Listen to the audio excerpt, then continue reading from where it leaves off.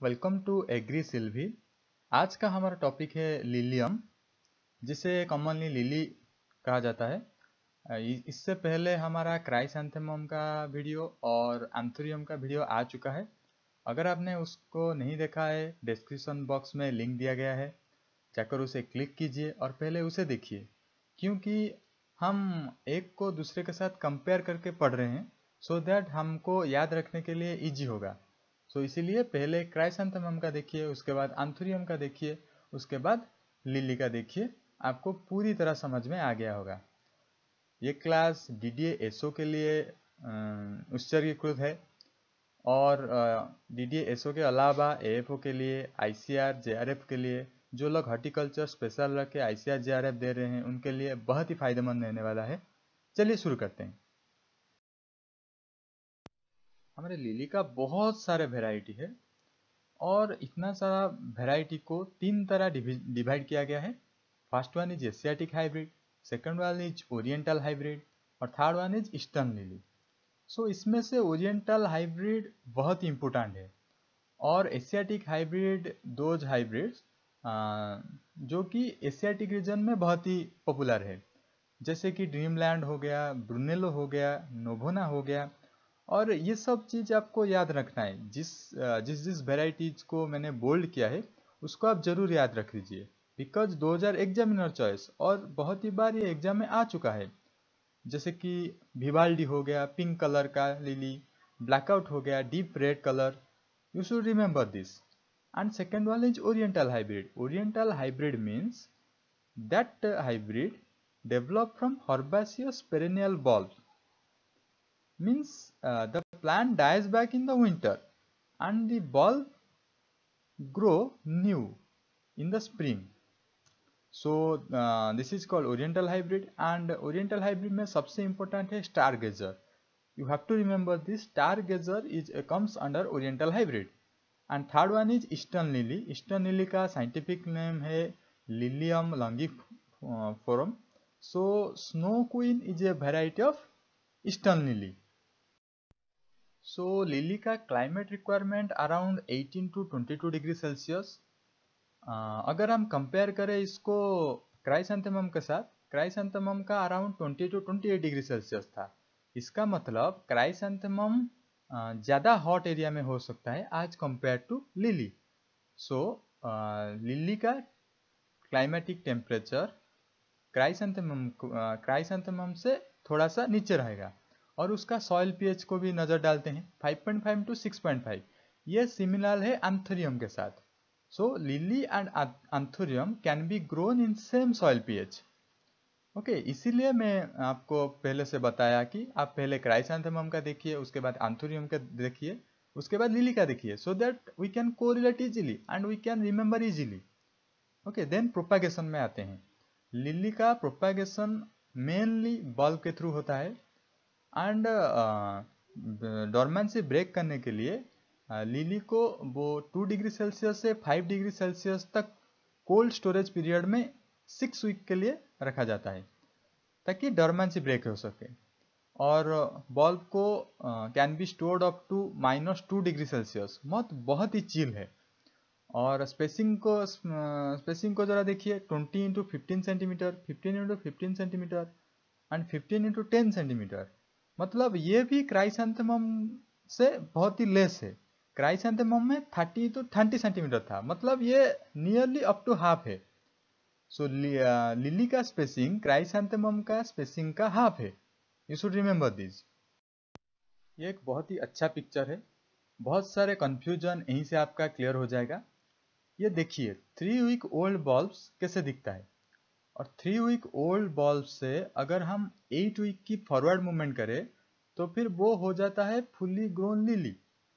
मतलब इससे अगर मैं पूछूँ आपको कि लिली का ग्रोथ पीरियड कितना है तो आप मुझे बता सकते हैं, लिली का ग्रोथ पीरियड ये three week plus eight week मतलब around ten to eleven week होता है। तो लिली एक फुली ग्रोन के, ग्रोन करने के लिए, एक मैच्योर स्टेज में आने के लिए टोटल इलेवन वीक इसे, उसे लगता है। अगर आपने डी डी एसओ का सिलेबस देखे है तो फिर आपको पता होगा कि plant protection of different flowering plants वहाँ पे है। सो so, आपको ज़्यादा फोकस करना चाहिए प्लांट प्रोटेक्शन पे।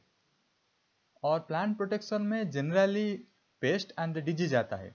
तो first we go for pest there are three types of insects are there aphids mites and thrips जैसे कि आपको पता है, हम ऑलरेडी पढ़ चुके हैं in chrysanthemum in anthurium aphids and thrips both है sap sucking pest and aphids का ऑर्डर है हेमिप्टेरा थ्रिप्स का ऑर्डर है थाइसोनोप्टेरा और यहाँ पर एक है माइट्स माइट्स यहाँ लिली में बहुत ही ज़्यादा पाया जाता है और इसका ऑर्डर है अस्टिगमाटा और ये एक अच्छा वाला पीक है, आप देख सकते हैं। इसमें दिखा गया है एफिड्स कैसे लिली प्लांट को डैमेज करते हैं।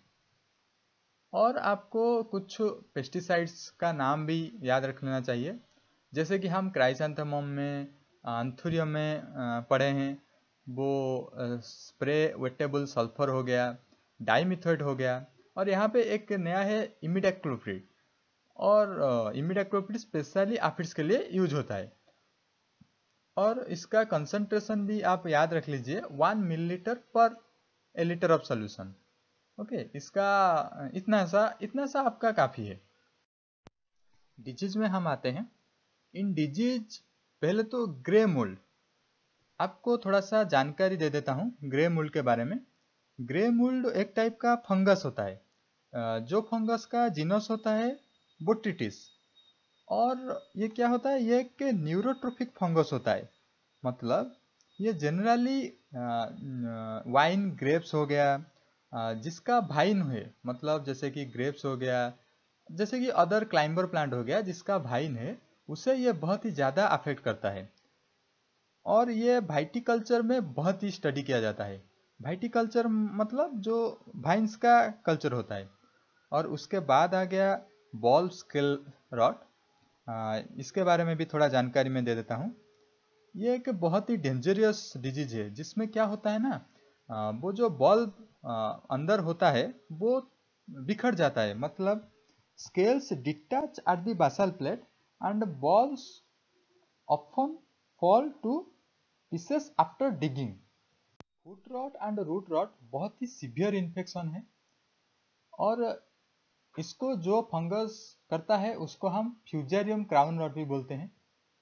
और ये बहुत ही ज़्यादा डैमेज करता है। मतलब पूरी तरीके से लिली प्लांट को ख़त्म कर देता है।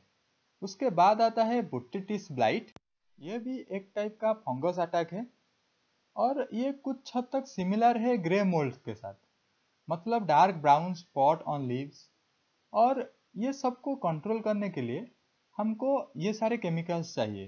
तो फिर कुछ इंपॉर्टेंट केमिकल्स के बारे में बता देता हूँ और उसका आपको इमल्सिफाइड कंसंट्रेशन और ग्राम्स और तो सब रिमेंबर करना है। जैसे कि जिनेम हो गया जिनेम एक जिंक कंपाउंड है और ये बहुत ही अच्छा फंगिसाइड माना जाता है ग्रे मोल्ड को कंट्रोल करने के लिए।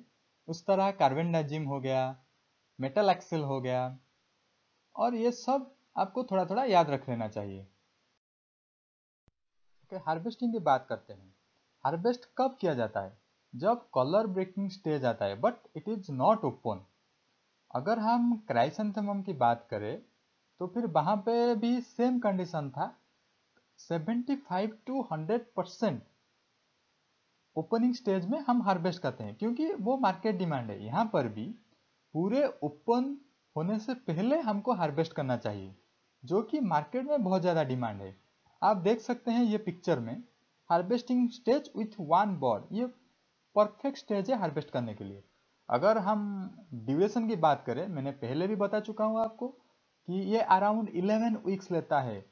इसका मतलब ग्रोथ पीरियड सो एशिया अगर एशियाटिक हाइब्रिड की बात करें, जैसे कि एक ड्रीमलैंड हो गया एशियाटिक हाइब्रिड बहुत ही फ़ेमस हाइब्रिड है। इस, इसको एट से टेन वीक लगता है। और अगर ओरिएंटल हाइब्रिड हो गया ओरिएंटल हाइब्रिड में एक गेजेट आता है, एक बहुत ही एग्जामिनर चॉइस वेराइटी उसको आप याद रख लीजिए। इसका ड्यूरेशन है 14 टू 16 वीक और ईल्ड और इसका yield around 30 to 40 flower stem per metre square यहाँ पे नोट करो मीटर स्क्वायर में है। पहले वाले हम जब क्राइसेंथेमम में पढ़े थे, वो हेक्टर में था। यहाँ पे मीटर स्क्वायर में कैलकुलेट होता है। फाइनली दो MCQ question first one is start gazer variety is a variety of which lily आप आंसर देने की कोशिश कीजिए। और second one is lily propagated through ये थोड़ा हटके है। आपको ये दो क्वेश्चन देने का मतलब है। मतलब आपको पता चल सके कौन सा लेवल का क्वेश्चन आता है एग्जामिनर में। सो इसी तरह आप प्रिपेयर कर सकते हैं। एक बार इसको रिवीजन कर लीजिए। मेरे को लगता है आप ये दोनों क्वेश्चन आसानी से दे सकते हैं। कोई दिक्कत वाली बात नहीं है। You can answer it okay तो फिर आज का लेक्चर यहीं पे समाप्त करते हैं। आशा करता हूँ आप सब अच्छे होंगे। और प्लीज़ लाइक एंड शेयर कीजिए सब्सक्राइब कीजिए। If you share and subscribe I will get motivate and I will make more videos for you इसी तरह हम डी डी एस ओ के एग्ज़ाम तक सारे के सारे सिलेबस कवर कर लेंगे। Okay all the best for exam thank you